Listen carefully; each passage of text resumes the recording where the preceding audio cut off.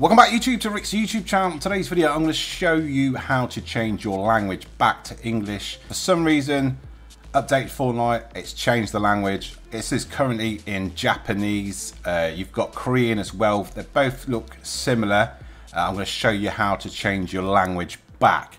So you get this screen here, you won't know what anything says. You're going to press the options button on your controller and settings is the first tab. So press X on that and then move your controller down to the very first setting there. Now that's saying Japanese. So English is the smallest word on here. So if I just flick through this now, you're looking for the smallest word. There you go there. I'll just go through them again.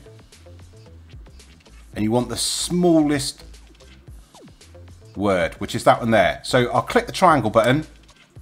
It'll pop up now, language change press confirm, hey presto, we're back to English. Now I'll just quickly swap this back over to Korean. Right, we've got Korean there. I'm going to apply.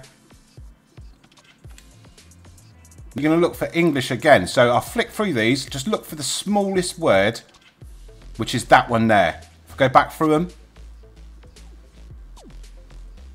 There.